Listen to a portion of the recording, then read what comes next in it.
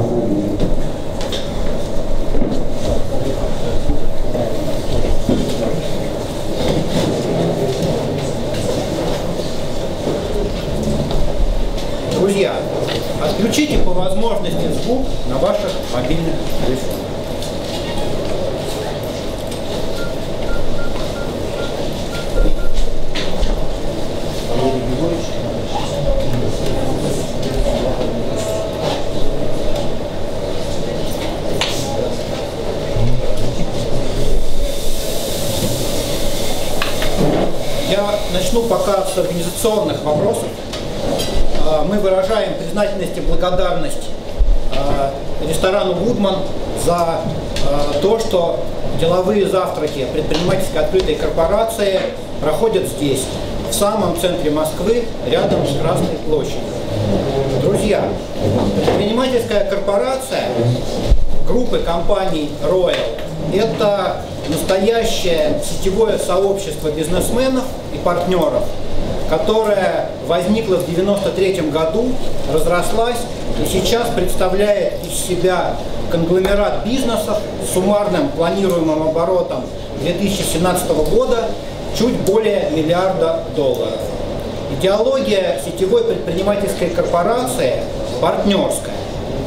Э, Раз э, в две недели э, предпринимательская корпорация проводит свои официальные сессии, где партнеры и новые партнеры обмениваются идеями, ищут точки соприкосновения для синергетичного роста. Э, Я провожу деловые завтраки перед сессией этой предпринимательской корпорации.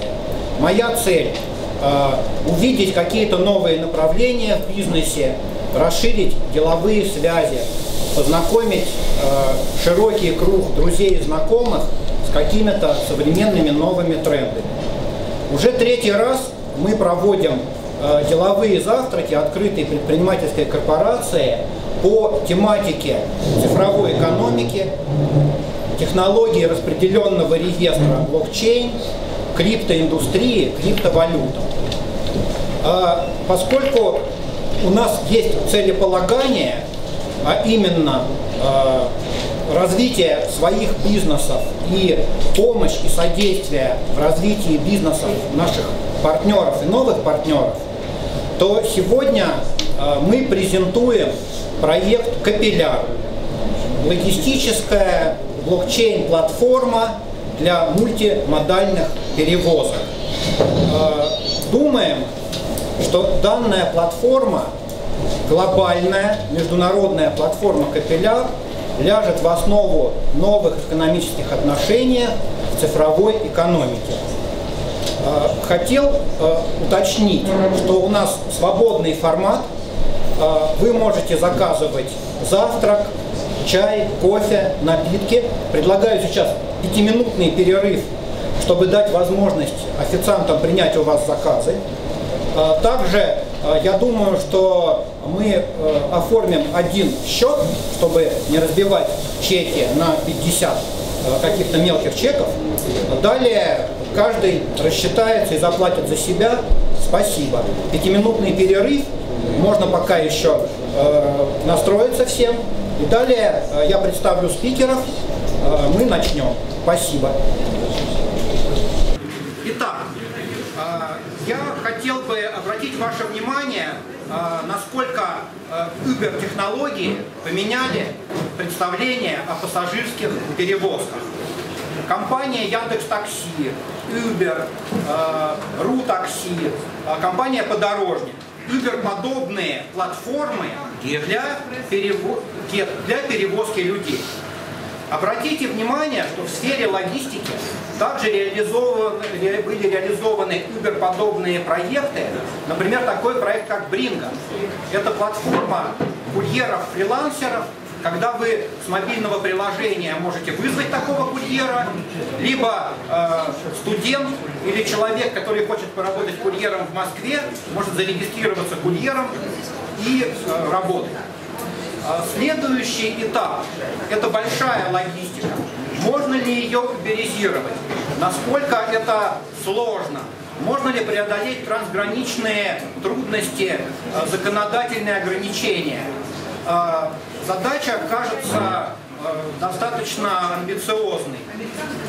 Технологии распределенного реестра, блокчейн-технологии и трансграничные транзакции, которые Э, возникли де-факто на базе криптовалют, это тот базис и фундамент. Предположительно, для этого базиса и фундамента может быть задействован э, механизм э, управления и построения сложных организаций, э, который намерена э, реализовать команда проекта Капиллярия. Э, теперь э, я попросил бы уважаемого Э, Захирджана Анваровича Кучкарова, генерального директора Центра «Концепт», профессора, э, академика Раен, э, заведующего кафедрой концептуального проектирования МФТИ, представить свою команду спикеров и рассказать о проекте простым, доступным языком. Я, может быть, иногда буду перебивать, Э, чтобы э, либо повышать градус э, дискуссии, либо упрощать ее. Вопросы я попрошу задавать по окончании презентации Капилляра. У нас также выступят оппоненты. Это люди, которые работают в индустрии криптоактивов, блокчейна, представители Bankex Lab, Bankex Foundation. Это компания, которая анонсировала протокол ликвидности для токенизации реальных активов потоков платежей и э, биржевых коммодитис, а также выступит э, представитель э, инвестиционной компании Финам, э, который сможет прокомментировать э, тренды э, на рынке криптоактивов. Э, сегодня также с нами э, э, новый проект TV, а, и а, теперь на весь мир самые актуальные свежие новости будут транслироваться 24 часа в сутки на этом канале из мира криптовалют и а, про технологию блокчейн. Также с нами финансовый блогер ТОП-10 Андрей Верников, финансовая группа «Целях». А, я попросил бы а, всех а, максимально как бы внимательно слушать и соблюдать тишину. И, может быть, раз у нас идет онлайн-трансляция блокчейн ТВ, три, две минуты Герасим Суренович Гадиян, основатель платформы онлайн-стриминга Вентера ТВ и, платформ, и телеканал Блокчейн ТВ вначале как бы скажет, как э, вот, будет осуществляться трансляция сегодняшняя. Ну, Ярослав Кабаков, вы здесь? Ярослав Кабаков из Финама тогда будет подытоживать чуть позже. Э, Иван Третьяков, тоже не вижу. О, Иван Третьяков здесь.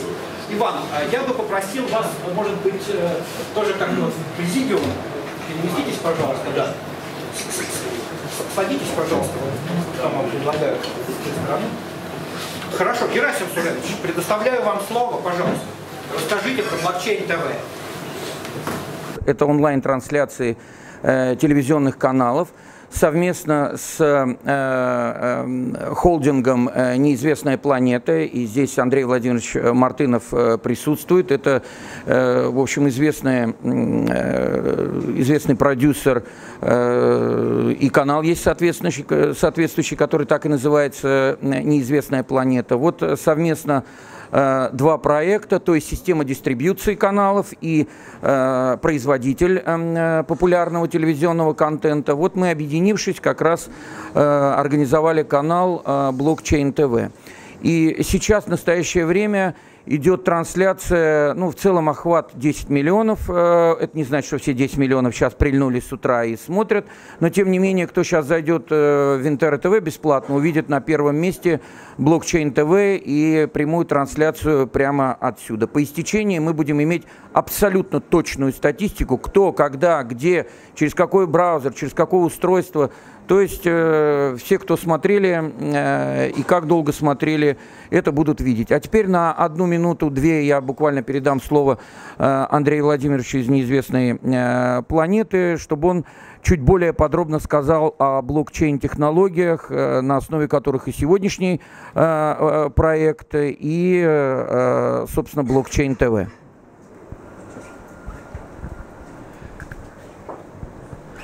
Да, конечно. А, мы немного углубляемся в блокчейн-технологии. Прошу вас именно вот с упором на а, эту новую цифровую экономику сказать ваш пич. Пожалуйста. А, добрый день. Блокчейн ТВ – это, собственно, мультимедийная платформа, которая призвана, ну, как средство массовой информации, освещать все, что связано с блокчейном. Мы планируем выйти на ICO в конце сентября для привлечения средств для развития его в полномасштабное а, средством массовой информации, то, что раньше называлось телевидением. Собственно, инвестиционно там будет предложение о, а, а, о привлечении денег в рекламу на этом канале. То есть по мере развития этого канала мы будем мы уверены в том, что стоимость рекламы на нем для размещения проектов, которые выходят на ICO. Вопрос. А как заработать мне, простому инвестору, предпринимателю, на блокчейн ТВ? Может быть, вы предложите токены на пред-ICO, на private placement.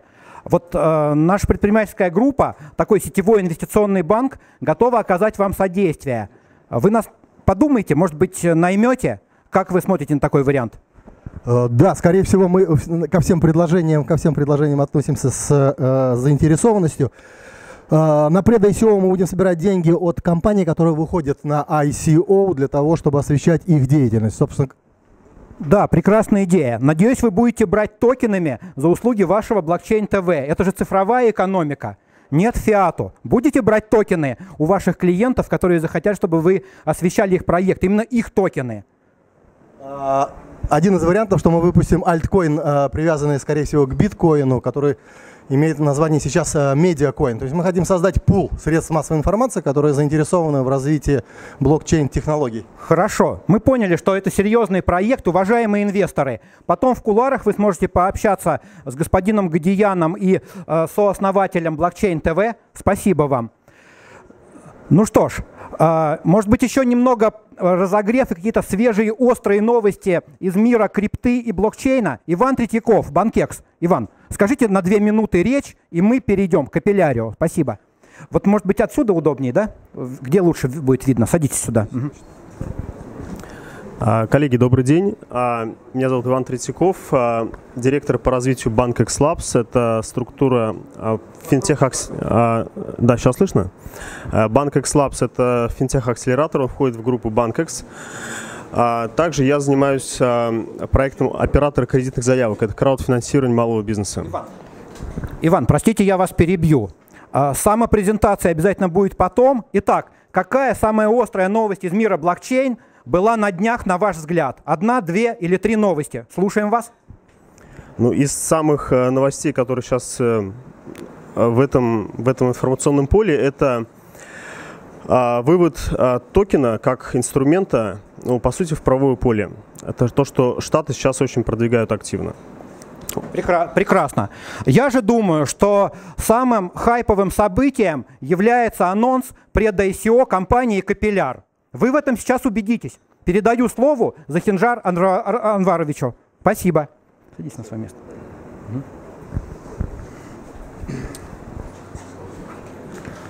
Спасибо большое. Добрый день, уважаемые коллеги.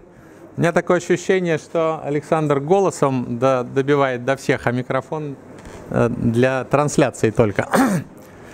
А, э, значит, спасибо, что вы пришли. А, сразу нас погрузили в какие-то разные миры разноцветные. Вот. Но я хочу а, немножко поговорить о деле. Ну вот блокчейн стал реальностью или стремительно становится реальностью и набирает обороты. Мы эм, э, представляем собой школу, которая существует очень давно, советского времени, которая занимается э, концептуальным анализом и проектированием сложных и суперсложных систем. Школа не могла остаться в стороне от этой тенденции. И кроме того, мы усмотрели в этой цифровой экономике, в технологии а, шаг, так сказать, мира навстречу к нам. Мы решили организовать э, и э, запустить свой собственный проект на одной из предметных областей, которая э, достаточно хорошо проработана и нам известна. Это логистика. Почему мы назвали проект Капиллярио? А, это логистика, которая наряду с артериями и венами а, которые пронизывают страну с запада на восток, РЖД, автомобильные дороги и так далее. А, это логистика, которая призвана дотянуться тоненькими а, транспортными ветками, потоками до самых удаленных населенных пунктов малых городов. По существу наших сограждан, которые ну, в значительной степени лишены современных благ цивилизации. А, это капилляры, капилляры, которые разбудят спящий нынче рынок. В малых городах и населенных пунктах страны проживает 73 миллиона человек. А для того, чтобы обеспечить эм, доставку, а, идеальную доставку, ну вот я бы ее так сформулировал, из любой точки э, планеты в любую точку планеты – любой отправитель а, доставляется груз любому получателю, груз любого размера, состава, консистенции, условий транспортировки и так далее, мгновенно и бесплатно. Значит, в нашем проекте заложена мультимодальность, задействованы будут все виды транспорта, возможность перевозить доставлять грузы, как оптовые, так и среднеоптовые, так и мелкие, так и индивидуальные, а, вплоть до письма. И возможность задействования а, очень большого, потенциально очень большого реестра распределенных активов. А, не только нынешние бизнесы и перевозчики, но и фактически любая, любой гражданин, любой перевозчик – может таковым стать официально и сможет зарабатывать деньги. Здесь кардинально поменяется понятие порожняка, поскольку станет э, возможным доставлять э, попутные грузы э, при любой недозагрузке транспортного средства, практически при любой. Здесь э, возникнет сеть э, инфраструктуры, само собой, а, поскольку возникнут ясные точки а, инвестиций для малого среднего бизнеса. А, наконец, то, о чем еще скажут коллеги, транспортировка – это многократная перевалка не только материи, но и понятия. Груз становится, товар становится грузом, меняет свою сущность возникает плечо, на котором есть определенные документы и сертификации, сертификаты. Товар становится таможенной стоимостью, меняет свою сущность, возникают другие документы на этом плече, и другие сертификаты, и другая информация. Позволите? Да. А, я всего лишь как модератор а, прослушал про платформу Капиллярио, но вопрос у меня зудит, вот во мне вопрос зудит. Платформа глобальная, э, ну такой как бы замах на некий масштаб требует масштаба, в том числе и личности. И вот подхода, бизнес-подхода, какого-то, может быть, наукоемкого подхода, визионерского. А, а, Захиржан Анварович, а вот расскажите о вашем только международном опыте. А, то есть вот почему вы можете вот быть человеком глобальным в эту цифровую экономику? А я вот, например, когда читаю проспекты эмиссии ICO, так называемые white papers, я всегда удивляюсь, почему там э, вначале не начинается, что наш манифест – это Конституция Соединенных Штатов Америки. Как мы помним, э, Азимов э, в своем э, таком фундаментальном рассказе «Звезды как пыль», э, «Stars as a dust», он там написал, что это секретное оружие, вот некий фундамент. Может быть, вы расскажете о фундаменте, о научной школе и о, э, скажем, вашей международности. То есть это, это важно. Мы все за деньги, за международные. Спасибо, вы прервали мое увлечение. Значит, я только лишь проиллюстрировал происхождение названия капиллярио, подчеркнув вот эту а, последнюю милю, малую доставку. А так это глобальная система, и это глобальный рынок перемещения – я э, передам слово сейчас своему другу и партнеру Геннадию Зубакову, который о глобальном скажет лучше меня. Но э, закончу вот... А? За... вопросы. Закончу вот какой вещью. А, все, что производится, так или иначе перемещается, и для того, чтобы производить, так или иначе надо перемещать. Вещи, материалы, людей, энергию и так далее. Вот эта платформа полностью окончательно в цифровом виде решит проблему перемещений. Любых. Спасибо.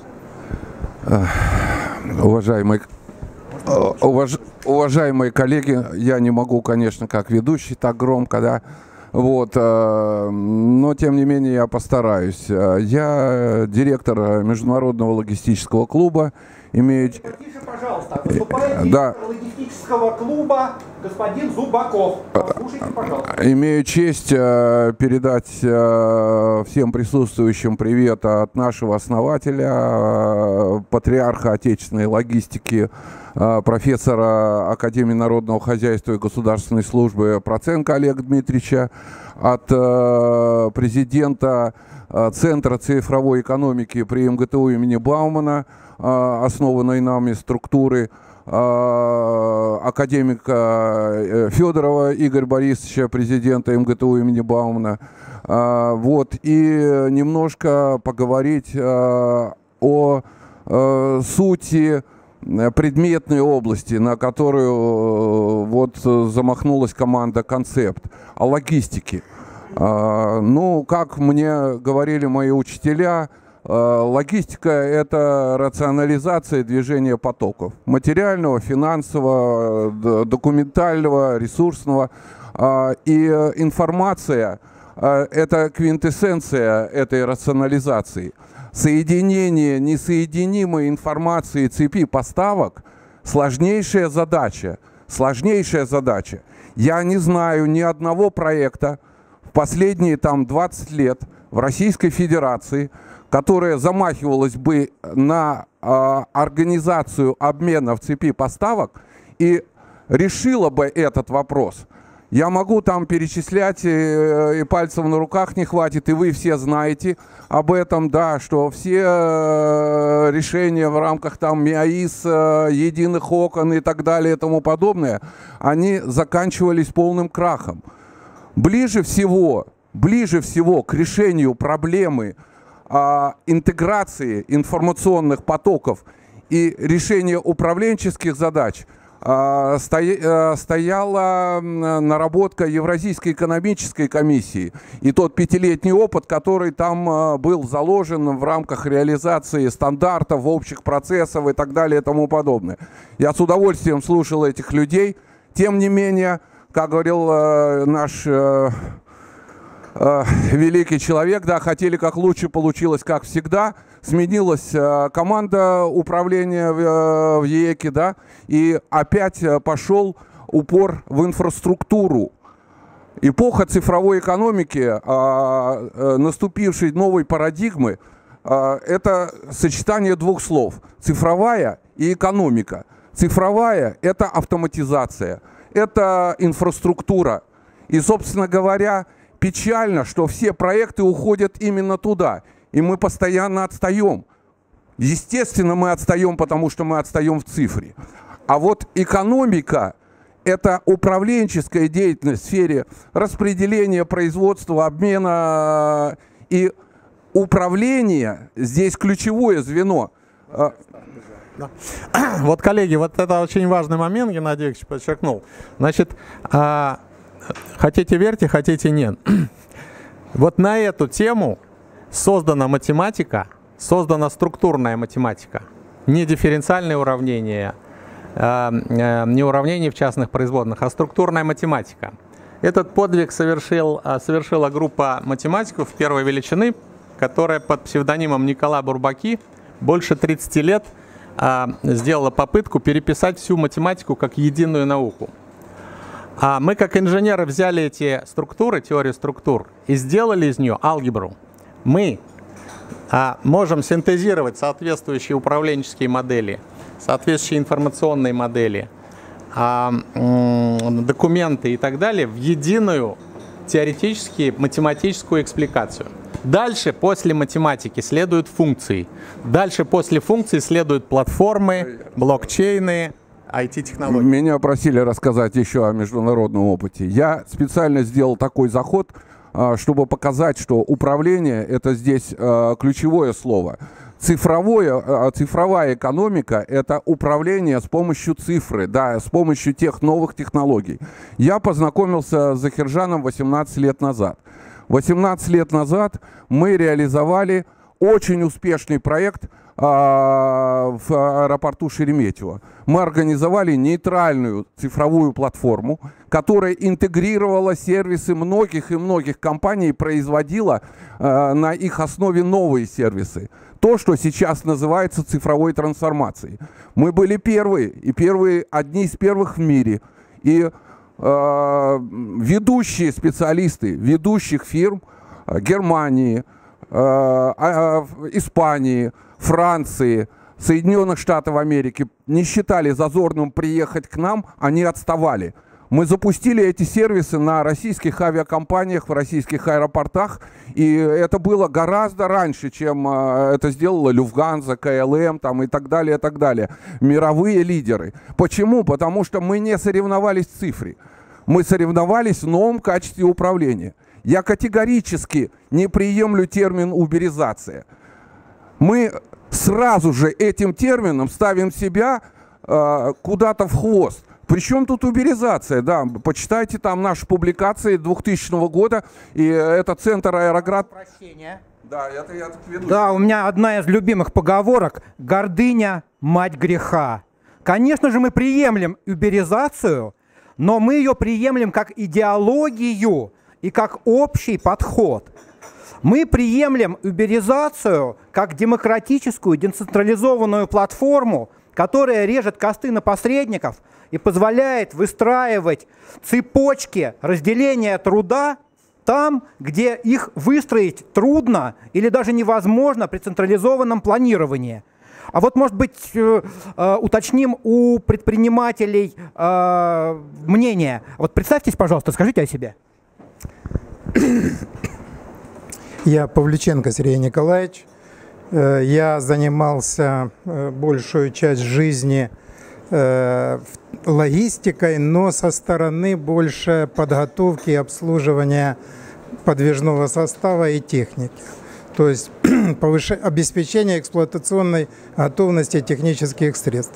Но, конечно же, э, вся загрузка моего производства была построена на том, насколько нагружены потоками грузов э, сети дорог. И сегодня я должен сказать, что мы пришли к моменту, хотя мы все вышли из индустриальной эпохи, когда основной производительной силой все-таки были тяжелые материальные активы. Сегодня мы пришли к ситуации, когда э, производительной силой становятся э, интеллектуальные активы, становится э, цифровая э, индустрия И а вот можете какой-нибудь яркий пример привести? Например, мне нужно из Пекина в Лиссабон перевести коробку с курами. Я вот начинаю звонить всяким Uber, Рутакси, Казах такси, потом в каких-то евроконтейнерах, секундочку, Это, нахожу. да, это больше не мой вопрос, но э, я, я Вот- передам вот вам цепочку. слово. да. Как спланировать? Вот э, я вот как-то чувствую, что никак. Правильно? Давайте я расскажу, как спланировать. Давайте я все-таки, да. Дайте я немножко погрешу, э, вот, э, как вы говорите, да, э, потому что если мы э, замахнулись на логистику и э, пытаемся сделать некие новые цифровые стандарты в логистике, то коробку с курами на Uber вы не перевезете, потому что это живые животные, извините, это грузы, там совершенно другие документы. И если вы будете выхолащивать а, тематику, вы ничего не получите, потому что таким проектом, да, э, грош цена, их миллионы было уже, и они не привели к успеху. К успеху приводит новое качество управления, основанное на цифре. Я об этом пытался сказать. И именно это было заложено, и проект был очень успешный. И я считаю, что сейчас а, тот новый старт, который дает нам э, новая вот эта эпоха, цифровая экономика и э, технологии блокчейн, положенные на новое качество управления, на понимание сути процесса, на понимание новых корпоративных стандартов и стандартизации этой области. Вот они а, а, говорят о том, что мы можем здесь быть лидерами. Я не знаю ни одного проекта, если кто-то из присутствующих мне поправит, чтобы кто-то в мире замахнулся пока на блокчейн в логистике, стандартизации вот этих сложных процессов внешнеэкономической деятельности, перевозок и так далее. Uber, извините, это всего лишь пассажир, нанятый да, где-то на самых упрощенных э, вариантах технологий. Да, принцип понятен. Принцип абсолютно понятен. Но, извините, это совершенно другая вещь. Это совершенно да, другой уровень а, проблемы. Позвольте мне опять вмешаться как модератору. А, Я про что сейчас попросил бы сказать уважаемых экспертов, оппонентов из Финама. Пришел Ярослав Кабаков, большой гуру криптоторговли, и вот там есть токены, криптовалюты, брокеры, дилеры, финансисты, предприниматели. И вот какие-то ICO проводятся, первичное предложение. Увлеченная взрослая команда говорит, мы обязательно справимся, и благодаря тому, что в 2017 году возникла индустрия краудфандинга на криптовалютах, криптоактивах, а также благодаря нашему математическому аппарату, созданному еще э, старой научной советской школой, применимым к разным сложным организационным структурам. Э, возможно, э, возможно вот выпустить токены э, проекта «Капилляр», выпустить и потом ими даже торговать, а может быть мы все и не правы. Вот, господин Кабаков, можно вас вот в президиум попросить? И вы вот тут еще, еще чуть вот больше, наверное, вот надо поднять градуса про бизнес. Вот где там деньги, как вот все это работает, покупать, продавать, держать. Пожалуйста, садитесь. Это говорить, чтобы записывалось, да? А, я понял, погромче надо. Да, а, очень приятно. Меня зовут Кабаков Ярослав, представляю компанию Финам. Я думаю, многие знают. А, Мы очень рады, что происходит такое достаточно бурное развитие. Но напомню вам, что биткоин создали не вчера и не позавчера. Уже прошло практически 5 лет. И в текущей действительности биткоин для многих обывателей это такая уже история вчерашнего дня, я бы так сказал, с одной стороны. С другой стороны, э, те процессы, которые сейчас идут, они тоже достаточно понятны. Да? То есть мы видим с вами, что э, инвестиционная сфера э, потянулась э, в криптовалюту, и вот тот, то бурное развитие, которое связано с выпуском многими компаниями токенов, э, наверное, вот на этом весь, как это говорят сейчас, хайп и стоит. А, То есть мы с вами понимаем, что сейчас э, те же самые IPO постепенно начинают уходить в прошлое. Если тенденция сохранится, то через пяток лет, я думаю, большинство э, привлечение средств компаниями, различными проектами, стартапами будет осуществляться в виде вот той процедуры, которая сейчас называется ICO. Хотя, в принципе, э, понятие ICO не совсем верное, да, то есть идет э, выпуск токенов. Сейчас очень большие проблемы, связанные с законодательной составляющей, в том числе палки в колеса ставят, конечно же, США. Ну, э, в этом отношении, я думаю, опять же, пройдет определенное время, э, сформируются стандарты, в том числе и законодательные стандарты в России. Кто знает, не знает, они будут сформированы. Прошу, прошу прощения. А, Я как чуть более такой вот э, опытный организатор, я что хочу, друзья, а можно вы будете стоять не в дверях, вам не слышно? Пройдите все к нам, вот здесь замечательное место, кондиционер, рядом чай. Проходите все, пожалуйста. Сейчас маленькая пауза. Можно пока тут э, чашки, ложки, пожалуйста, проходите. Да-да-да, вот, вот сю- сюда прямо проходите. Девушки, пройдите, пожалуйста, с фотоаппаратами, с диктофонами, проходите. Полина, про- пройдите, ну не стесняйтесь. Ну и вас же просят, ждет аудитория. Зайдите, на вас будут любоваться, пройдите сюда. Так, ну там, в общем-то, у нас как бы свободная ситуация, цифровая. Извините, я вас перебил, да? Да не, ничего страшного. Да, если вопросы у кого какие возникают, вы спрашиваете. Надо Кучкарова дослушать. Давайте как капилляре, а потом будем открываться. Сейчас, подождите секунду. Кон- конечно, конечно, мы всех дослушаем. Итак, Ярослав, вы как-то подытожьте минуты на три, чтобы вот подытожим, потом передаем опять слово Кучкарову, команде, и дальше выходим в дискуссию, в некий такой батл. Давайте, давайте конструктивно, хватит балаба. Я понял. Ну, а если... Так, я вас понял, спасибо.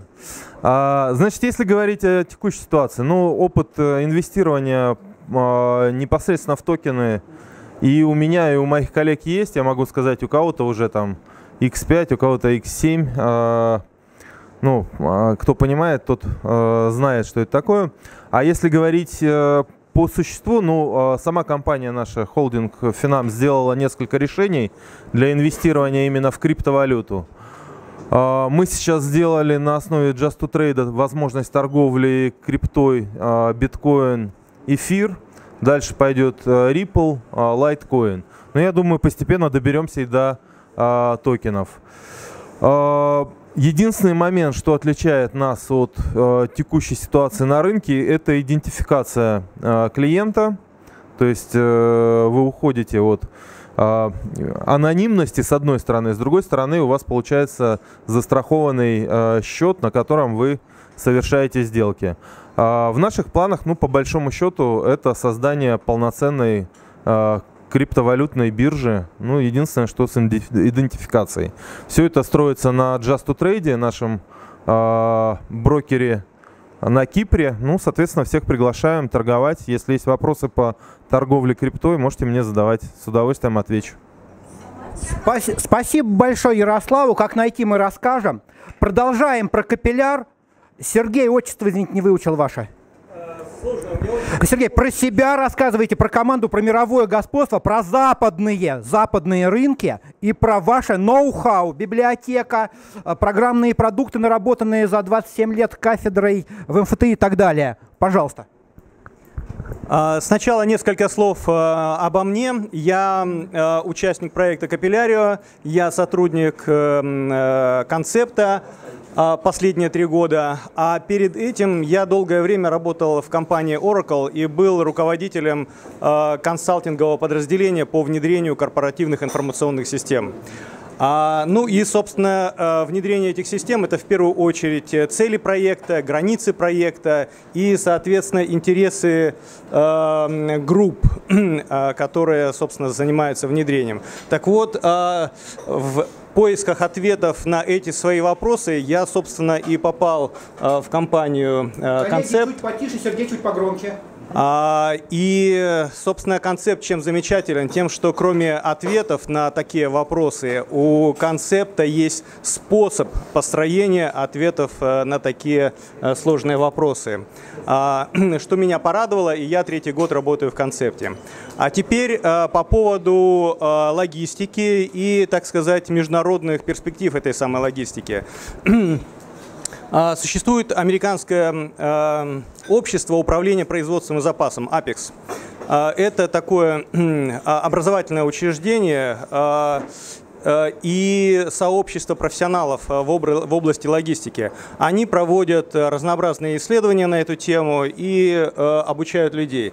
Так вот, одно из их исследований показывает, что затраты у средненьких компаний на э, supply chain, они составляют порядка 8% от их оборота. Для компаний хороших и очень хороших такие затраты составляют порядка 3%. Соответственно, у тех, которые не очень хорошие, они могут достигать и 10, и 15%. а. То есть это все потери. Речь идет про Америку. Если будем говорить э, про а, весь остальной мир, скорее всего, эти величины будут еще хуже. Соответственно, если а, считать от серединки до хороших а, вариантов, то это 5% улучшений. Можно сократить, можно нацелиться на сокращение 5% потерь. Это колоссальные цифры, а, если рассматривать эм, мир в целом. А, Валовой продукт в области транспорта по всему миру в целом это порядка 3 триллионов. Ну вот, соответственно, э, 5% от этих 3 триллионов – это потенциальный выигрыш от э, сокращения потерь, то есть от того, что Геннадий э, назвал основной задачей логистики – нахождение этих самых э, потерь и сокращение э, потерь. А, собственно, в чем потери-то заключаются? Потери заключаются в пролеживании, э, по- э, потери заключаются в э, простоях, э, в холостых пробегах и так далее, и так далее, и так далее. Вот, собственно, а, да-да. Вот я, судя по всему, уже в какую-то конкретику пошел. Но я э, опять э, хотел вернуться к подходу бизнесмена, предпринимателя и инвестора. А, Мы немного начали с конца, потом середину, теперь вот к началу перешли. Маркетинг, рынок. Сергей описал. А, Вот, мы рассказали немного про продукт, про то, как будет решена проблематика.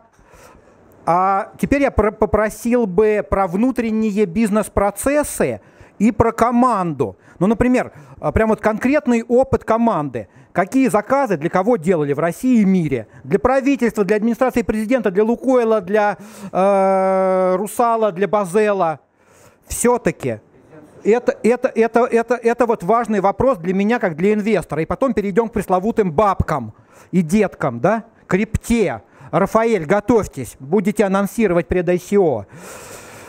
Захар Иванович, нужно огонь, вот почему вы справляетесь, вот что делали, делаете и будете делать, с инвесторами или без инвесторов? Скажите проникновенную речь. Потом про деньги, да. Ну, Центр Концепт был а, а, разработчиком государственного водного реестра РФ. Центр Концепт был разработчиком государственного лесного реестра РФ. Мы также разработали государственный реестр полномочий субъекта федерации. Их больше 4000. Мы разработали и ведем федеральный реестр целей всех целевых программ и стратегий. Мы около 10 лет были такая вот сверх, сверхмаленькая компания, полноправным партнером компании SAP, внедряли R3. В общем, попробовали себя в мире IT в разных смыслах. Мы работали с... А? Надо признаваться, все-таки на Западе сколько работали и преподавали, лет, месяцев. Западный опыт, с кем дружите из наших западных лучших друзей, американцев, британцев и так далее. Хорошо. ну, Надо сознаваться, да. Нет, скромность не позволяет. Ну, я поучился э, в Стэнфорде, я поучился э, э, в Канаде. Э, раз надо хвастаться, оба раза происходил такой странный эффект. Значит, лектор рассказывал, я задавал вопросы, лектор рассказывал, я задавал вопросы. Потом лек- лектор говорил, может, я положу мел и сяду, а вы, а вы будете мне читать лекцию. А дело очень просто а, раскрывается. А, Это система техника системный анализ, возникшие в Соединенных Штатах 40-х, 50-х годах, годах а, были у нас а, подхвачены, развиты, и мы а, их опередили. А новомодные а, штуки, а, которые приходят к нам оттуда, значит, а, для нас, концептуалистов, а, совершенно ясные арифметические такие абаки, счеты и так далее. А, раз надо хвастаться дальше, значит, мы способны превзойти эти разработки многократно. А наши разработчики, мы всю жизнь э, э, за, не получили за всю жизнь ни копейки бюджетных денег на развитие этой методологии. Мы выполняли заказы и в ходе заказов развивались сами. Это действительно а, а, крупнейшие компании, такие как Лукойл, Русал и другие. Это практически все федеральные органы исполнительной власти, это губернаторы разных областей, это администрация президента и другие, и другие органы. Вот а, а, список работ концепта превосходит несколько сотен, и каждая из них не похожа на другую. Концепт никогда не тиражировал и не повторял свой успех в прошлое. Он брался за новые, непонятные области. В каком-то смысле сейчас и блокчейн для меня новая предметная область, а мы в нее погружаемся со, со всей возможной стремительностью, которая дает кон только концептуализация. Спасибо. Хорошо. А, я тогда с... Да, конечно. Самое главное. Самое главное. А мы разработчики ОСУ транспортного комплекса для Минтранса, головного модуля, который назывался модуль прогнозирования и управления развитием транспорта. И вот два показателя, которые я предложил и которые так и не удалось в, в, внести, так сказать, в мозги, что есть развитие транспортного комплекса в России, пока не в международном масштабе. Это повышение связанности страны. Это повышение транспортной связанности страны. Когда сейчас из Омска в Томск надо лететь через Москву, это не связанная, а распа распавшаяся транспортная страна. Это повышение пропускной способности и повышение провозной способности. Эти... Да, да, да. Но мы за мир во всем мире, и очень хочется из Кула-Лумпуру куда-нибудь в Сингапур э, тоже не лететь через Аляску. Прекрасно. Да. Вот, вот, а в чем сложность этой задачи? Вот расскажите про род структур, про реестры, про классы, про атрибуты, про алгебру графов, про М-графы, про графы, где в вершинах графы, про гиперграфы. Или не будем? Не будем. Давайте про деньги.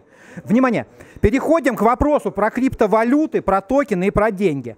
Быстро анонсирую пред ICO за уважаемого Рафаэля, основателя проекта Капиллярио.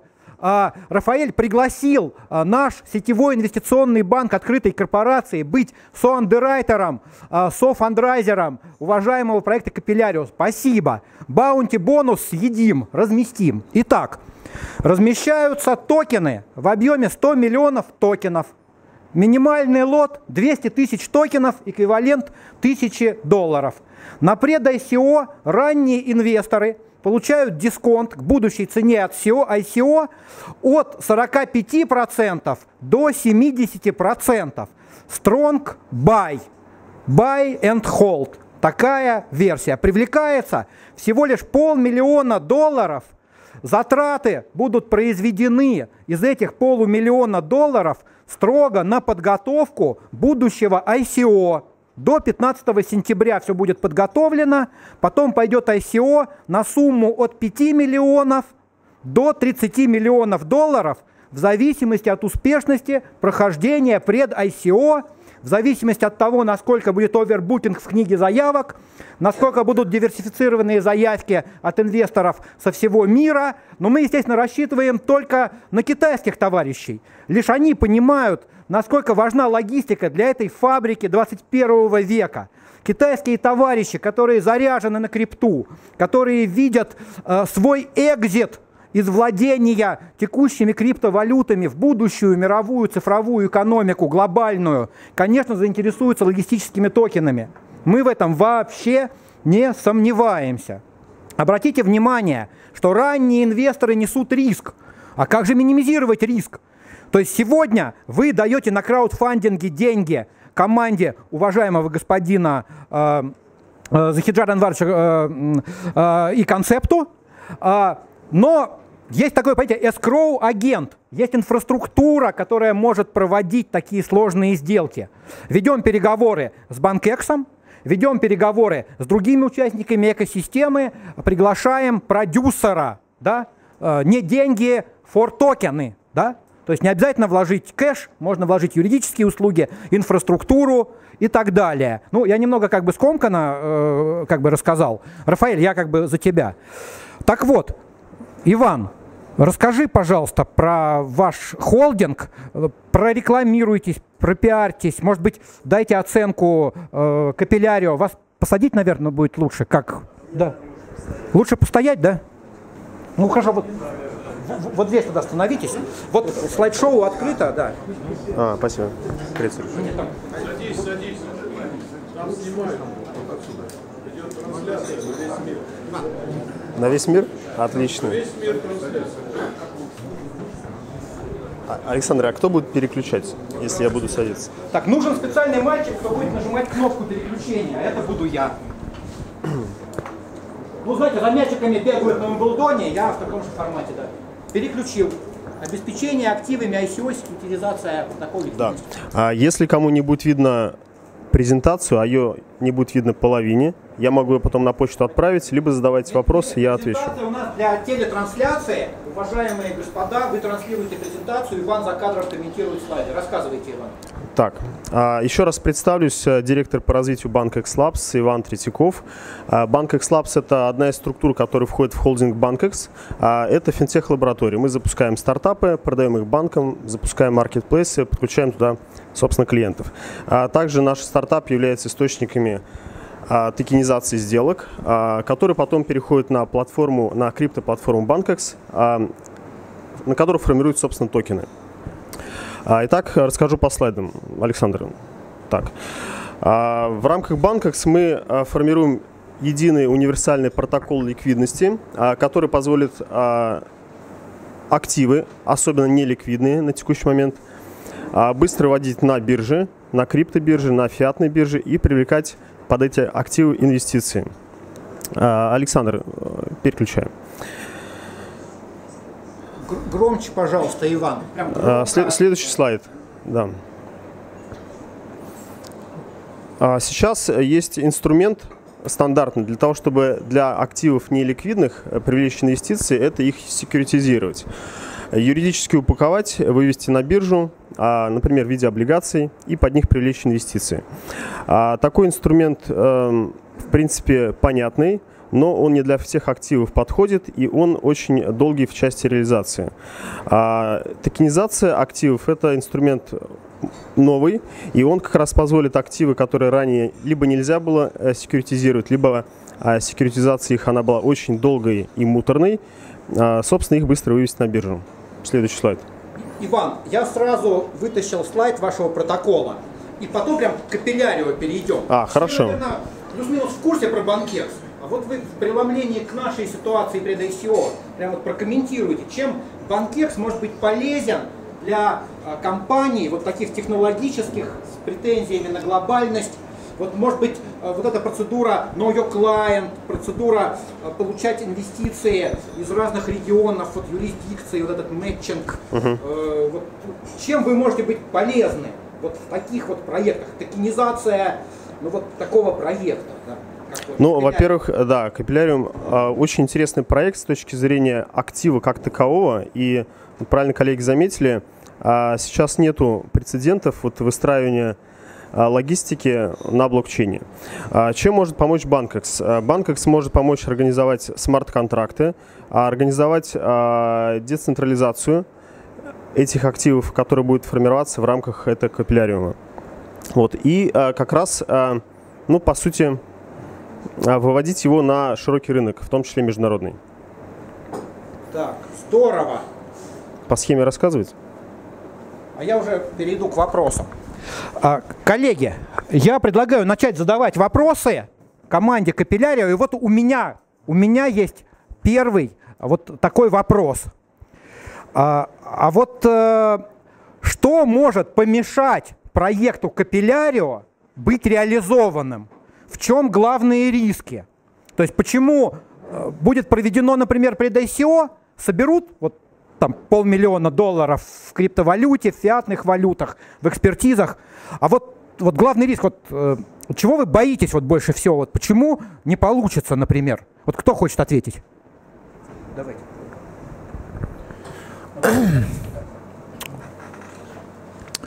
Мы, чего мы не боимся? Мы не боимся не справиться со сложностью проекта. Но мы боимся, как я пишу в своей модели стратегического планирования, главный принцип стратегического планирования исходит из, должен исходить из следующего. Все, что угодно, может случиться в любой момент. Вот я думаю, что, э, значит, э, мы находимся на ошибке теней прошлого и зорниц будущего. И эта новая эпоха пройдет, придет, но она пройдет с большими битвами и трудами. Старый мир э, еще отмобилизуется и даст нам, нам теперь уже новому миру по шапке или попытается дать. Вот, э, возникнут множество юридических коллизий. А, вот этот принцип, все что угодно, я произнес за месяц до того, как СЕК появился в Соединенных Штатах. А сейчас могу повторить, что впереди еще много открытий чудных. Вот, поэтому нам, нам надо справиться. Вот и все. Сейчас, секундочку. А, а вот у меня вопрос к Ярославу Кабакову. Ярослав, можно вас еще вот в президиум? И господин Третьякова тоже в президиум из Банкекса. Вы, вы сядьте. А, Ярослав, ну вот э, как бы Банкекс говорит, мы готовы помочь с ICO, там, с процедурой Know Your Client. А что же вот инвестбанки? Вот на Кипре Финам Глобал, еще что-то. Может быть и в Финам как-то вот заглянуть? Вот, может вы будете тоже там организаторами ICO, пред-ICO, фандрайзинг, вот клиентам предложить вашим, кто торгует валютами, э, акциями западными, вот такие истории. Ну, колитесь. Может быть, несмотря на то, что Центробанк холодно смотрит, там прокуратура угрожает, ай-яй-яй, там криптовалюты, Россия деньги. Вот когда же русские инвестбанки поднимут официально флаг? Сейчас они как-то там вот менторят, проводят какие-то ивенты и что-то издалека так заходят через э, контракты на разницу и так далее. Ну, вот вот расскажите, вот как, как вот с вами это договориться, да? Здесь все очень просто. Единственное, что сейчас э, мы сделали, это сделали площадку для торгов криптовалютой. Покупайте, продавайте, welcome. Э, не только контракты на разницу, но, в принципе, будет полноценная, полноценная покупка криптовалюты вот в ближайшем уже будущем. Ну, практически вот на этой неделе кошелек уже привязывают, соответственно, можно будет заводить крипту, выводить крипту и так далее. А если говорить непосредственно про российскую действительность, вот пока законодательно зимой, насколько я знаю, не примут э, соответствующие законы, до этого момента мы пока будем хранить молчание. Вот. А в рамках э, всего холдинга, я имею в виду э, и кипрского брокера, да, определенные процессы будут идти. Я думаю, что определенное ICO мы будем поддерживать, наверное, в рамках там международной компании. Очень, очень здорово, хорошо. А вот э, я задам свой последний вопрос. Э, Герасим Сулейнович, можно вас вот, то, тоже в президиум попросить? Вот, или поближе сюда на камеры. Вы выйдите, пожалуйста. Вот давайте вот с вами где, где лучше будет? Вот? Вам все равно, да? Герасим Суренович, вот на ваш взгляд, почему все получится у цифровой экономики, у нового криптомира, и почему тот, кто в этом не участвует, тот консерватор? Почему? Да вы, собственно, за меня и вопрос задали, и, и ответили. И я, в общем-то, так особо не считаю. Я вспоминаю Э, когда-то э, было время сплошной автоматизации, э, и считалось, что вот всем надо на это директивно переходить, особенно вот в советские времена, да. Но, как мы понимаем, это совершенно не так, потому что потому что всегда надо смотреть на эффективность. И порой даже сегодня в рукопашную что-то делать, как ни парадоксально, но в ряде случаев эффективнее, чем что-то э, автоматизировать. Это я к чему? Это я к тому же, что и э, к тому, о чем мы сейчас говорим. Любая цифровизация только тогда имеет смысл, когда она экономически э, выигрывает, когда она более эффективна, чем все остальное. Я говорю сплошные банальности, но, к сожалению, э, это сплошь и рядом. И вот как раз это один из вопросов, который я хотел э, задать и вам. А почему э, вы полагаете, что, например, э, блокчейн-технологии, которые положены в основу да, вашего проекта, почему именно они должны быть более эффективными, чем, например, ненавистная вам уберизация, да, вот Uber-технологии? Почему? С- Секундочку, секундочку. А С вот, точки зрения бизнеса. а, а вот я вел этот диалог с Логиновым Ярославом. Ярослав, а вы здесь?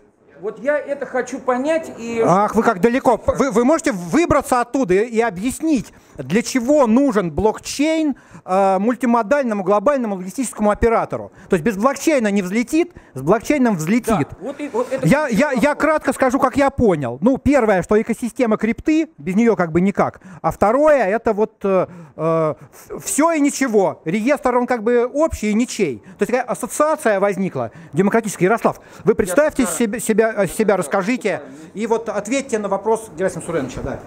А, ну, это комментарий по поводу этого уберизации. Ну, то есть, как бы, термин, он, конечно, может быть не русский, но смысл-то понятный. Ну, р- русский термин складчина называется, это кооперация. А кооперативные модели работают лучше. Так вот, блокчейн-системы все, это кооперативные модели, а, которые как раз убирают, ну, а, неэффективность, да, то есть в общем, а, почему не работает без блокчейна? Потому что э, конкуренция между, да, кон- конкуренция между а, от- отдельными участниками, между кор- корпорациями, а, она приводит к тому, что каждый создает свою собственную систему. И, вот, блокчейн – это открытая система, которая никому не принадлежит. Значит, есть криптовалюты. Криптовалюты, они являются обязательными для работы самого блокчейна. Но в первую очередь интересует именно распределенная база данных, да, или распределенный реестр. А, так вот, самое главное в логистике, да и в других платформах, это а, реестр заказов, то есть того, чего хочется, и того, кто может это выполнить. Так вот, создать это на блокчейне м, возможно, а создать это централизованно, это всегда превращается в то, что централизованный этот игрок начинает монополизировать рынок устанавливать свои собственные правила. И, ну и на этом все заканчивается. Собственно, централизованные решения, они всегда конкурируют между собой, и, и в итоге, ну, в- итоге там войны идут и прочее. Хорошо, сейчас секундочку, секундочку. Значит, Ярослав Логинов э, консультирует проект Капиллярио по техническим вопросам. Спасибо, Ярослав. Сейчас, пожалуйста, э, э, скажите вот про это вот риски и возможности, да. Да, ну, э, во-первых, да, вот Ярослав, по-моему, замечательно ответил на ваш вопрос. По сути, то, что вы называете ненавистными Uber-технологиями, это тоже блокчейн. Но когда-то меня в детстве учили и говорили, что прибор работает не в принципе, прибор работает в корпусе, и надо в этом разбираться. И вот если мы берем э, по цепи поставок, то груз говорить не может. Его надо описать, в отличие от пассажира, который говорит. Поэтому это упрощенная э, блокчейн, да, э, реализация ее компанией Uber там и, э, и другими. Да, это вариант. Здесь более сложный вариант. Вариант, который я еще раз подчеркну. И главное здесь управленческие э, механизмы. И основные риски, по-моему, здесь это э, непонимание многими и многими, а что главное в цифровой экономике это управление, а не цифра. Я читал программу, э, которая принята сейчас. К сожалению, там упор делается на цифру. Мы с самого начала э, закладываем отставание. Я считаю, что проект э, блокчейна в логистике обречен на успех по одной лишь причине, потому что он во главу угла ставит управление. Вот это, это главное. А, то есть а, с капиллярио или без капиллярио возникнут такие технологии. Но, как уже упоминалось, фундаментальный подход, операции с родами, структуры, опыт, библиотеки алгоритмов, программные продукты создан гигантский конкурентный технологический задел.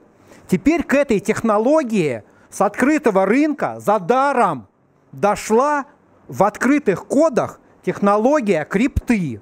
И вот они встретились, посмотрели друг на друга. Коллектив концепта разобрался в той части проблематики, которую э, люди не разрабатывали, но восприняли. Так возник капилляр. Я правильно формулирую? А, коллеги, вот а, если уж о сутевой части пошла речь, вот, вот реестр распределенных активов, вот ключевые слова. Каждый участник мультимодальной перевозки попадает в реестр распределенных активов в любой точке планеты. Он регистрируется как способность перевести. Он регистрируется как способность перевести. Его актив становится частью этой системы. Он выполнил перевозку, его актив исчез. Это мгновенное а, любого качества актив, который имеет перевозочную способность.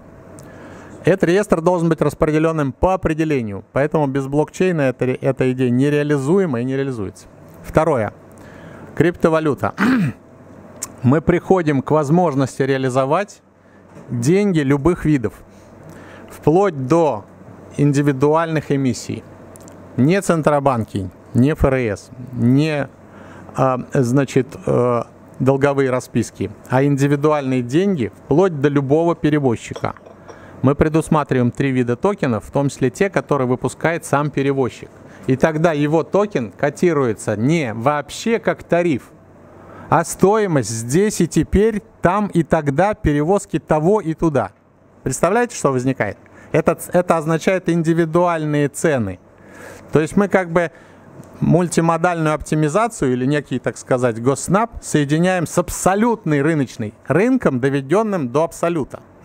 Вот а, пустой, пустой, а, пустое место в грузовичке не стоит нисколько, он все равно едет и бензин жжет. А он может его взять, взять, в смысле ящичек, за полцены от своего тарифа, потому что это просто дополнительные бесплатные полцены.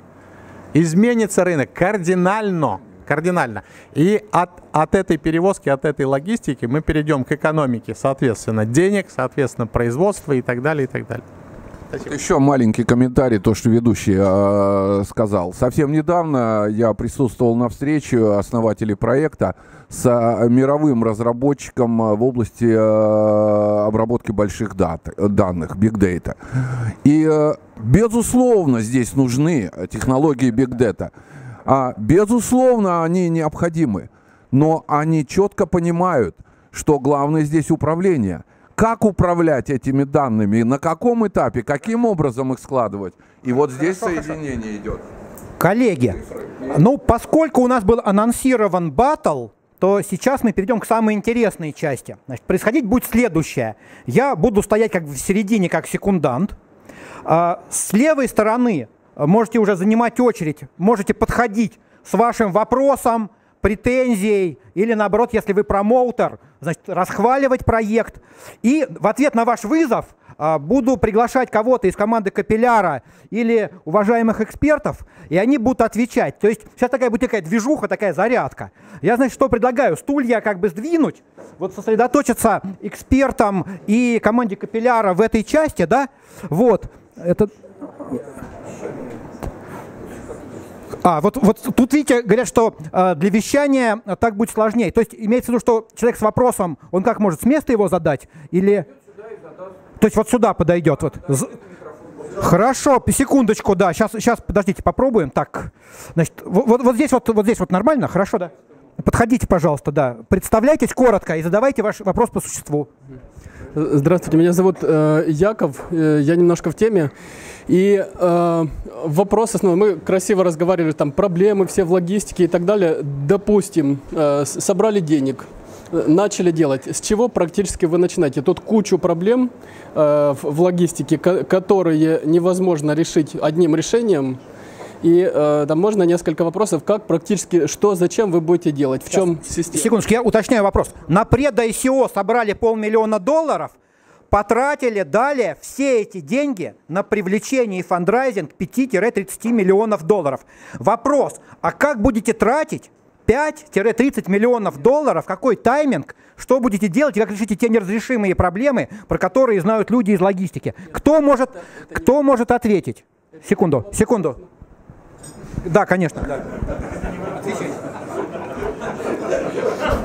Я как понял, вы меня извините. Можно вопрос? Можно, да, конечно. Попроще, попроще сформулирую. Э, э, вот, вот эти деньги, которые вы собираете, вы собираете только на то, чтобы думать, как решить проблему в логистике, или есть что-то практическое, чтобы... Нет, не думать, а сделать то, что уже придумано. Сейчас расскажут, да. Да. Значит, а, я начну с конца тогда, не с того, что мы начнем. Мы создадим цифровую платформу, которая реально будет действовать на рынке. Мы не думать, деньги собираем не надумать, а на то, чтобы создать цифровую платформу в Uber в Кубе или там в какой-то степени, которая реально будет действовать. Вот легко произнести слово мультимодальный, но очень, черт возьми, трудно это сделать на цифре и платформе. Легко произнести трансграничные перевозки, но мы это сделаем. Это будет трансграничные мультимодальные это уже делается. Это уже делается. Так, продолжаем. Ну вот тут трудно будет выйти. Вот э, как э, уважаемые операторы сможете э, как бы приблизиться? Вот здесь из Ариапага вопрос. Г громко просят, да, пожалуйста. Вы, может быть, встанете, представитесь. Международный конгресс промышленников и предпринимателей. Э, у меня вопрос очень простой. Вот мы себя тут убеждаем, как это хорошо, как, нужно управлять этой системой. А давайте подумаем, а чем управлять? Вот я задаю простой очень вопрос. Какой, вот мы сейчас э, концентрируемся на логистике. Какой объем перевоза грузов в мире приходится на Россию? Хороший вопрос. Нет, нет, я, я отвечу сразу же, не надо. Э, под российским флагом переводится 2% российских грузов и 0,4% мировых грузов. Это первое. Второе. Уважаемые коллеги, какова средняя скорость перевозки грузов по Транссибу? 11,7 километров, Олег Михайлович. Мы это прекрасно знаем. Это скорость перевозки позапрошлом веке гужевым транспортом. Вот каким объектом, уважаемые коллеги, мы управляем. Так вот, э, есть ли возможность вот такими объектами управлять современными методами? А, я тоже как бы всегда немного вот перчику добавлю. А можно вот вне транссибов и вне вот этих 0,2,2% ездить вот где-то вот вне наших тяжелых климатических и граничных условиях. Тут так медведи в лаптях играют на балайке, водку пьют. Из... Да, батл, да. Да, ответьте. Вот ну, только точно прям, да, да. Вот э, давайте так, вот по авиации. Грузооборот э, порта э, международного аэропорта Франкфурт 3 миллиона тонн. Я могу ошибиться, но порядок. 3 миллиона тонн. Весь грузооборот российских а, авиаперевозок всех портов Российской Федерации порядка 600 тысяч тонн. А весь грузооборот Франкфурта делает а, одна компания, которая летает из Китая во Франкфурт. Как они говорят, к сожалению, с посадкой в Российской Федерации, потому что это российская компания. Это компания Волга-Днепр Airbridge Cargo. Вот ненавистный мне термин уберизация туда подходит, потому что на круглом столе, который мы проводили, они, они заказ... Поток этот нами... Так вот вам поток. 3 миллиона тонн должны... Прекрасно. Молодой человек с серьезной харизмой, пройдите, пожалуйста, ко мне. Не-не-не, у нас как бы такой обмен ударами. Вы, вы проходите, у нас виртуальный батл.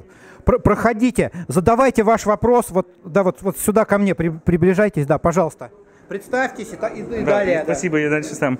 Меня Громко говорите, да. Тихо, тихо, тихо, вот очередной пассаж, давайте все. Меня зовут Иван, я маркетолог, консультирую несколько проектов по ICO. Имеются данные по, ну, большие данные по проведению ICO большими топовыми, ну, то есть, э, компаниями.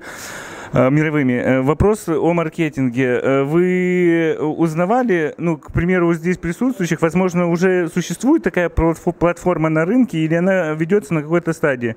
Маленький спойлер. За 40 минут я нашел три ваших конкурента в этом зале.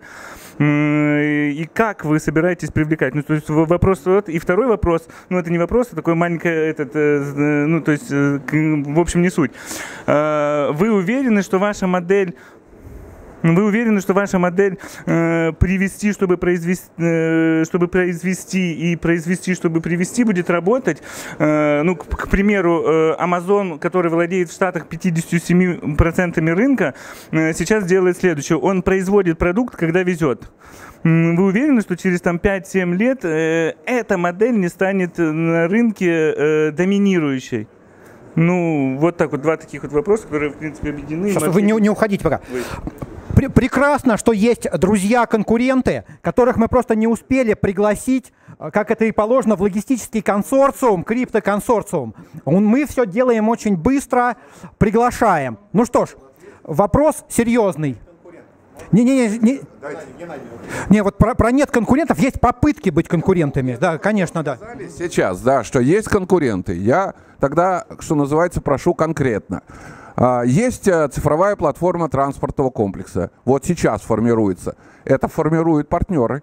Это компания-партнер. А Есть э, цифровая платформа Евразийского экономического сообщества, Е- Е- ЕЭК. И там э, есть э, порядка 80 общих процессов, куча стандартов и так далее. Это партнеры. Это, концепта имеет. Кон- конечно, конечно. Это все пазлы. Вот этого большого проекта, вот тут э, коллега э, спрашивал, а что э, сделано конкретно? Вот это уже сделано, это формируется. Я не знаю конкурентов. Я знаю попытки там, ну, скажем, Почты России, которая объявляется, да, что вот мы создадим там что-то. Ну, извините, дайте пощупать. Я пока не видел ничего конкретного. Письма, которые я получаю, они без адреса. Здесь есть еще человек, который ответит про друзей конкурентов. Я так скажу. А, хочу, хочу, хочу на Луну. А, почти знаю как. Ну, ребят, мы-то вроде уже летаем на околоземной орбите с господином Кучкаровым и концептом, но я все равно хочу, я вот справлюсь. Вот я вот так это могу вот сформулировать. Ну, насколько я понимаю, вопрос был про то, что ну, как бы есть другие проекты на блокчейне, которые делают все то же самое, ка- казалось бы. Да, проектов таких э, я насчитал, по-моему, 8. А, ну, то есть, со- собственно, они все есть, это все нормально. Здесь вопрос про другое. А каждый пилит свой собственный бизнес. Вот в чем проблема. А, вопрос в том, что необходимо создавать общий протокол, ну, как нам кажется, ну, там, на базе там, ISO 20022, Можно про, про- про протоколы подробнее? Это вот сложно сделать вот протоколы, Да. реестры, роды структуры, это вот как все это? Да, вот, собственно, почему концепт? Потому что есть э, э, необходимое, необходимое э, знание, понимание, как это в целом охватить. Все остальные проекты, фактически, ну, блокчейн-проекты, подключаются к этому протоколу и, и работают между собой с помощью этого протокола. Вот, вот э, Кап- Капилляр это про это. Это в первую очередь, на мой взгляд. Понятно, что есть Россия, для России тоже нужны грузоперевозки, но в первую очередь, конечно, на весь мир смотрим. Отлично. Да. Я, я опять про сущность скажу. Значит, а, для тех, кто в теме, есть так называемые справочники, а, есть так называемые классификаторы, товарная номенклатура и так далее. Есть реестры, регистры, кадастры и так далее. В них во всех есть модели данных. И практически нет успешных попыток создания, кроме, так сказать, полуручной конвертации, единых моделей данных и протоколов. Я отвечу, почему это так существует. Потому что без концептуализации этих моделей их соотнести и синтезировать нельзя. Они сделаны в разное время, на разных семантических основах, для разных функций и задач, и они соединены быть не могут. В этой части у нас нет и не появится конкурентов. Я потратил на это 37 лет. У нас не может появиться конкурентов, просто потому что это термодинамически невозможный факт. Прекрасно. Законам физики противоречит появление конкурентов на горизонте.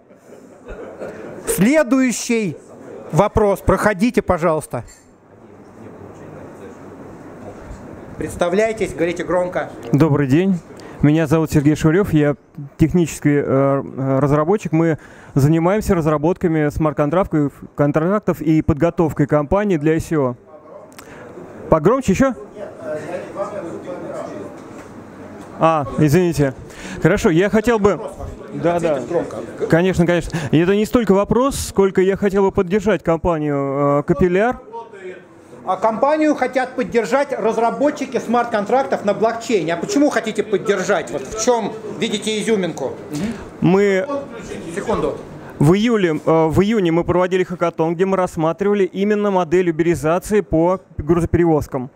И э, Основной, основной, э, основным риском здесь был для инвестора это те же потери, которые были в уберизации Кинопоиска Яндексом, где Яндекс потерял что-то от полутора до полутора, м, ну, около полутора миллиардов рублей.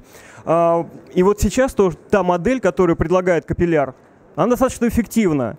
Эффективный непрерывный выпуск э, токенов, которые потом будут конвертированы в конечный продукт. Но я думаю, вот об этом, именно вот именно об этом риске и его компенсации лучше расскажет какой-то специалист, например, Рафаэль, наверное, да? Спасибо за похвалу. а, э, сп- Спасибо за похвалу именно из крипто-тусовки, я бы так сказал. Следующий вопрос, проходите, пожалуйста. Мгм. Куда? Сюда? Сюда. Э, Игорь Илюхин. Мы знакомы с командой проекта. Я работаю в дочке компании Ростелеком, которая подобными вещами занимается.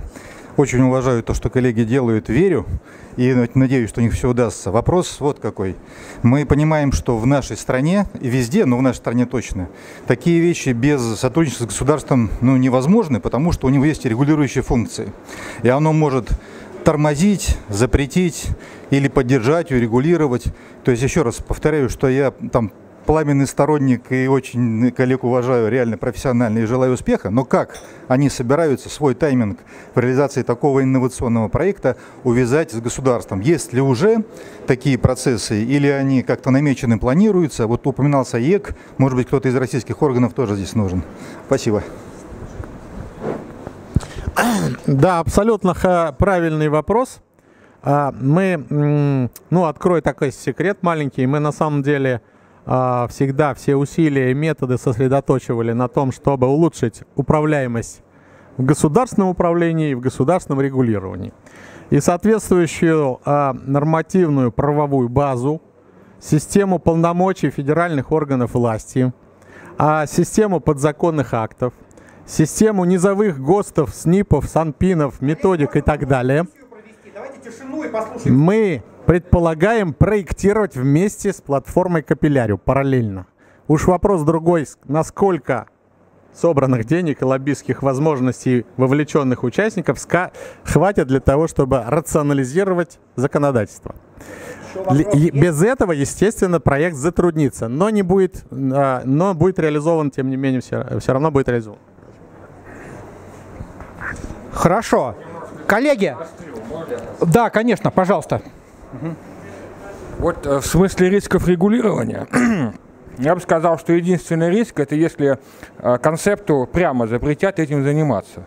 Все остальное регулирование это только вопрос разбирательства и поиска решения. Как э, в этом регулировании работать. Ну, чем мы, собственно, и занимаемся. Дополнительно поясню, потому что вопрос на самом деле хороший и, и точный.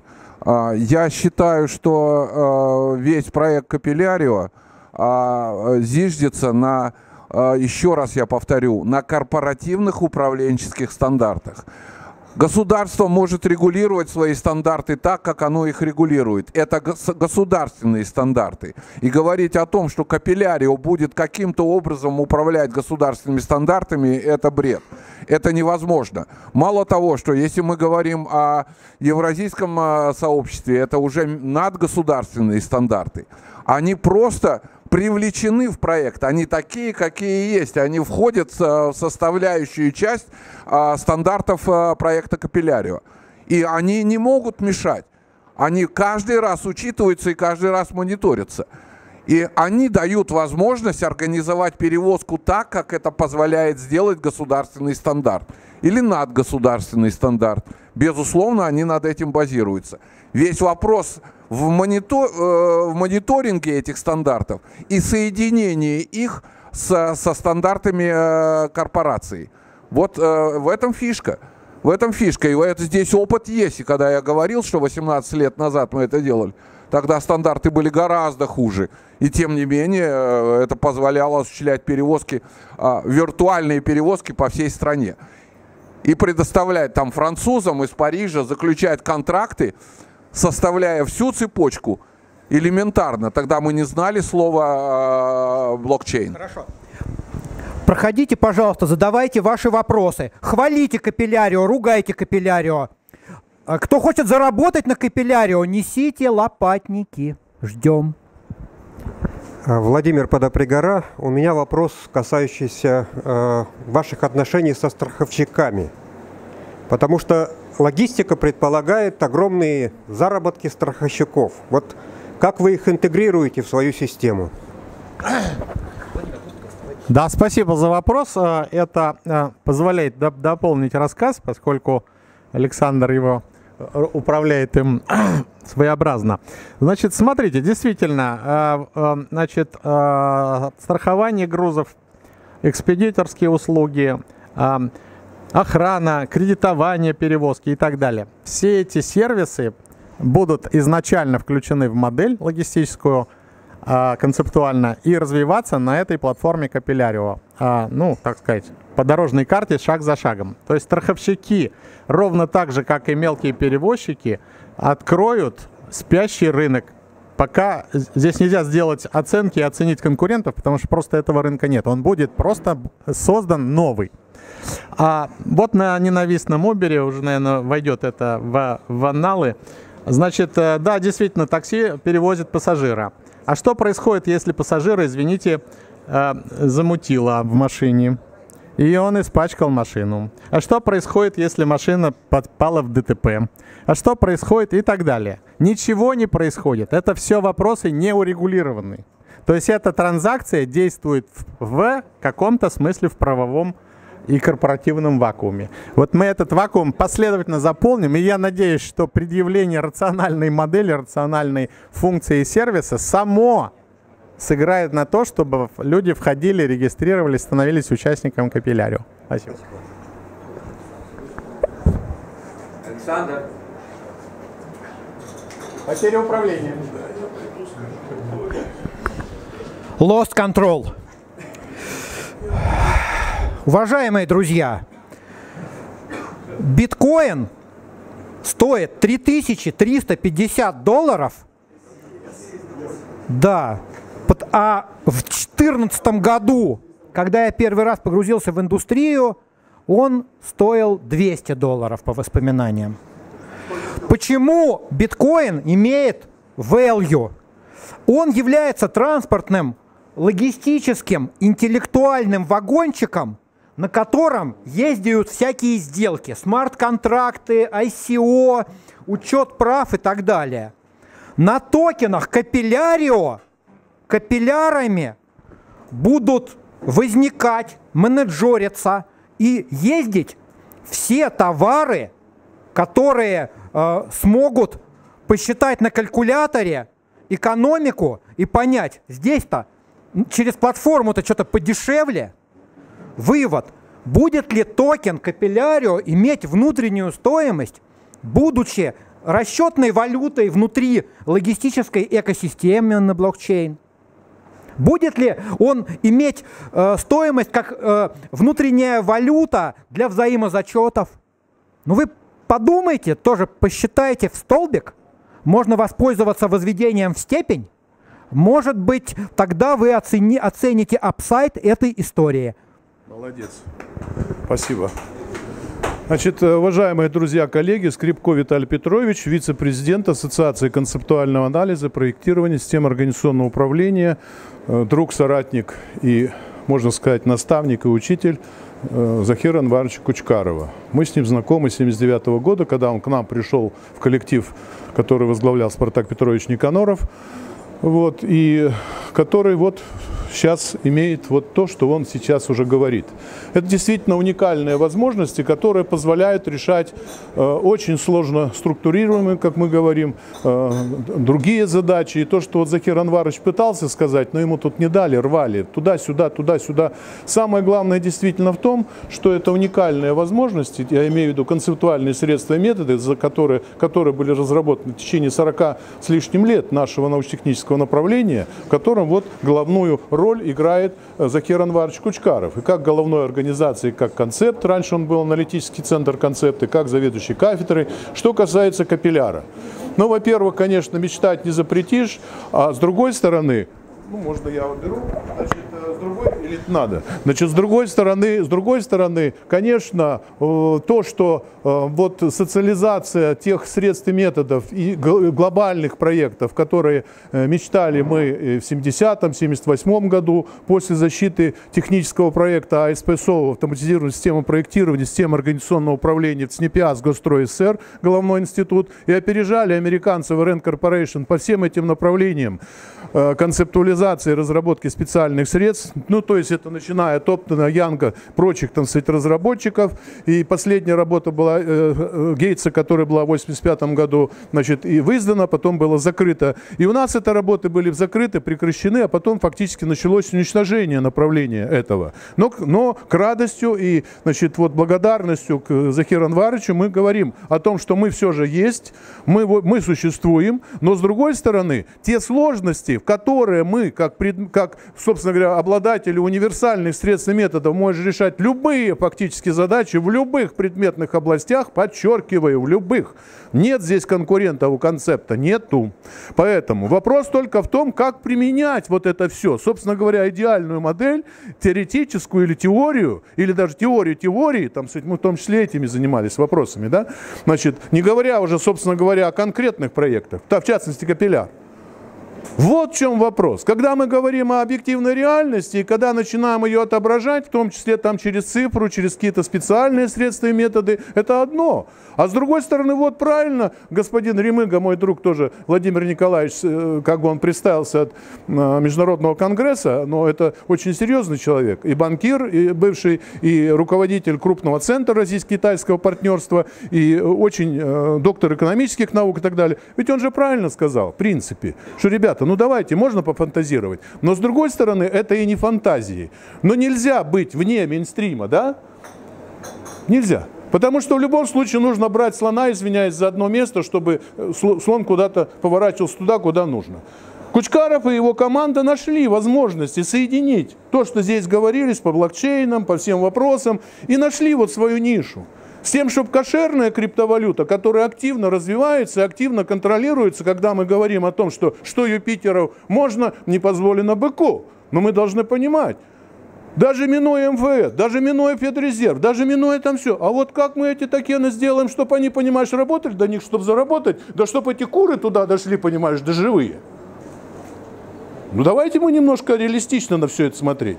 То есть, с одной стороны, возникают новые прогрессистские, или будем говорить, новые инновационные технологии, которые надо использовать. Они должны быть понятны, они должны быть использованы. А с другой стороны, мы должны понимать, а в какой реальности мы находимся. Причем здесь вот трансип, Китайцы давно там решили, при чем здесь Фран- Франкфурт или что мы хотим здесь сделать, какую задачу мы решаем. Лично обогатиться? Да, мы можем.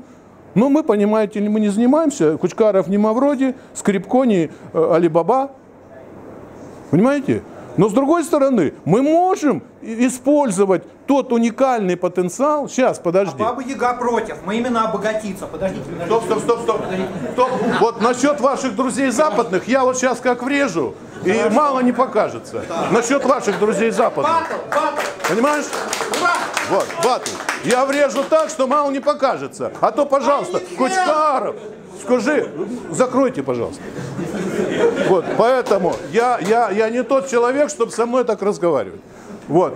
Я 40 лет отдал работы со Спартаком Петровичем и имею право так здесь выступать. И не защищая концепт, а говоря о тех проблемах, которые мы вместе должны понимать. О проекте говорим, а проекте... Мы говорим о том, что мы должны поддержать концепт, мы должны поддержать капилляр, но с другой стороны мы должны понимать те сложности, в которые будут, которые Кучкаров прекрасно понимает.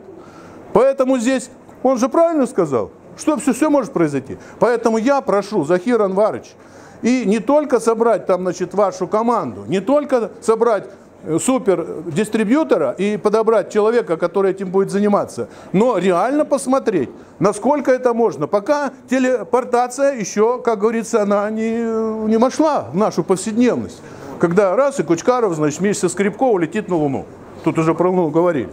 Поэтому, господа, я благодарен за то, что вы все же удосужились спонтанно выслушать вот товарища модератора, который туды-сюды растуды, вот, насчет западных вы меня извините, но с ними надо быть осторожно и давать им по мозгам.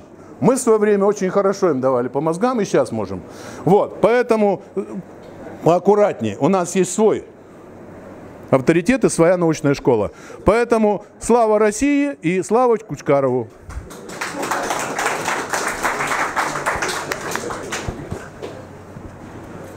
Я все-таки прокомментирую, что не надо забывать про весь остальной мир. Он тоже существует. Коллеги, друзья, мне кажется, мероприятие удалось, прошло очень ровно, логически выверено. И в заключение, да, и в заключение э, я тоже как бы хочу поднять бокал чая за нашу советскую родину, которая рождает таких сыновей. Ну что ж, предлагаю закончить э, официальную часть и продолжить дискуссии в кулуарах. Я благодарю представителей Финама, Банкекса, Винтера ТВ, Цериха, Блокчейн ТВ, Полину. Да-да-да, молодой человек.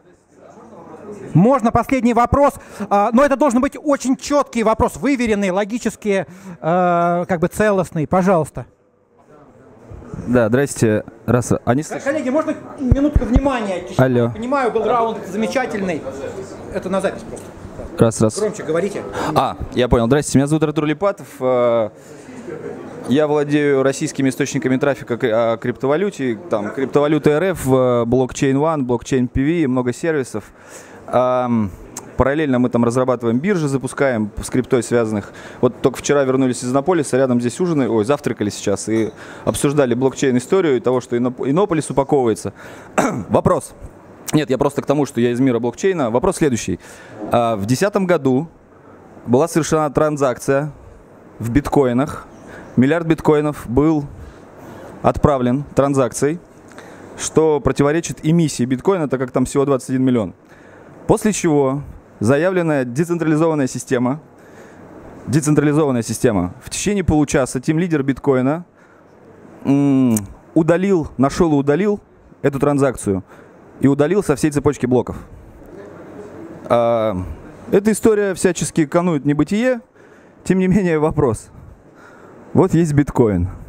И нам говорят о том, что и существует некая децентрализация, которая а, не подконтрольна никому, нет регуляторов. Вопрос, наверное, вот не знаю, кому спросить, решил просто спросить. Я всегда спрашиваю, у многих нет ответа. Так вот вопрос, если эту транзакцию удалили со всей цепочки блоков, что такое биткоин? Очень хороший вопрос про устойчивость Вселенной. Но здесь, я надеюсь, хитрость и смекалка и наш православный блокчейн помогут нам. Вы были на прошлом деловом завтраке? Господин Бородич в четверг, Александр Бородич, бизнес-ангел номер один по рейтингу 2015 года, в четверг анонсировал свой блокчейн Universo. И релиз, который вышел в пятницу, посадочная страница, в том числе с приглашением на пред-ICO. А у них уже все это сделан. Протокол, в нодах нотариусы, очень, очень эффективная по сравнению с другими протоколами э, э, а-ля блокчейн, скорость транзакций, надежность и так далее. Вывод. Ну, хочешь сделать хорошо, сделай сам. Пользуешься чужими протоколами э, блокчейна. Либо, ну, тут, наверное, надо заметить, что в каждой команде криптохакеров есть кто-то из России. Э, Там много физтехов, много людей из МГУ. А у нас только эти люди в концепте. Ну как-нибудь справимся. Ну, риск, что поделать. Апостасия, конец света типа грядет. Будем Давай вопрос про понял. Секунду, секунду. Вопрос такой. Могут ли все хакнуть, в результате чего наступит страшный хаос? Правильно, да? Да, конечно. Да могут и хакают. Дело в чем? Это уже тоже неоднократно обсуждалось. Вот э, Анатолий Левинчук, он что сказал? Ну, первично, это договоренность между людьми. Вот как бы есть система промежуточная, да, там компьютеры, все это может сломаться, да? А, так вот, вопрос с тем же ZDAO, то есть что было главное? Это договоренность между людьми или разбирались целый год. В итоге там суд э, США постановил, что да, это договоренность между людьми, она должна быть исполнена, то, что если ошибки в программном коде, их надо исправить. А это к вопросу, значит, ошибок в биткоине. А- а в биткоине тоже бывают ошибки, их тоже надо исправлять. И это нормально. А, Главное их быстро выявлять, быстро исправлять. А, э, В, лю- в любом контракте, в э, цифровом контракте, должна быть возможность его отключить. И в итоге всегда человек. То есть это некоторый арбитр, это ну, арбитраж, да, и децентрализованный. Тут сейчас разрабатывается децентрализованный скролл, децентрализованный арбитраж. Вот. Не-не, я поправку сделал. Все, что я хотел сказать, что все, что я хотел сказать, что когда нам говорят о том, что это э, вообще мы углубились в источники, мы пошли дальше, мы начали очень плотно изучать, копать. Я к тому, что есть такое Сатоши Накамото и что за этим всем стоит, и за тем, что говорят нам. Про Ник Сабо, что ли? Там глубже история уходит. Я хотел сказать одну простую истину. Occupy Wall Street, это Бит уходит- Gold. Это уходит гораздо глубже, да, и это будет э, через много-много лет, это будет таким образом, что любого из нас могут обнулить в течение минуты.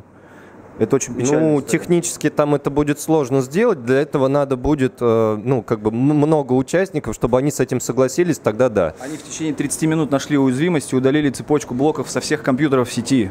Ко- коллеги, а, ну, Как вас зовут? Меня зовут Артур Липатов. Сергей Иванович, ответьте, пожалуйста. да. Я э, э, мог бы ответить на этот вопрос в кулуарах вам лично. Я вас понял, спасибо. До свидания. Отлично подытожили. То есть принесли фундаментальный риск нам на блюдце, мы теперь будем грустить, но в кулуарах, вы помните, будем жить, да. Еще кто-то может и хочет сказать проникновенную речь, задать вопрос для всей аудитории интересный, актуальный. Пожа- пожалуйста, э, Герасим Суренович, пожалуйста. Э, Я бы хотел э, вот что спросить. Вы сейчас говорите о некой транспортной распределенной системе, а, то есть которая работает с некими физическими э, объектами, да, грузами. Вопрос. А вот созданная инфраструктура может э, работать э, э, с контентом? Имеется в виду там, например, видеоконтент. То есть построенная ин- логистическая инфраструктура. То есть, на мой взгляд, это на порядок проще, потому что речь идет о э, передаче э, контента э, тем же, э, так сказать, виртуальным способом, да, не привлекая э, офлайн.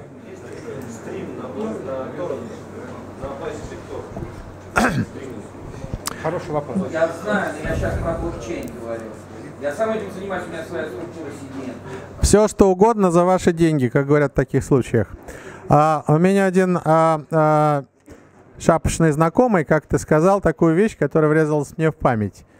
Э, он дом строить собирался. Я говорю, у тебя чертежи, документация? Нет, такой, дачу просто. Чертежи, там документация проектная и так далее. Он говорит, не, я вот один уже построил по фотографии. Он построил дом по фотографии. Так что если вы будете иметь...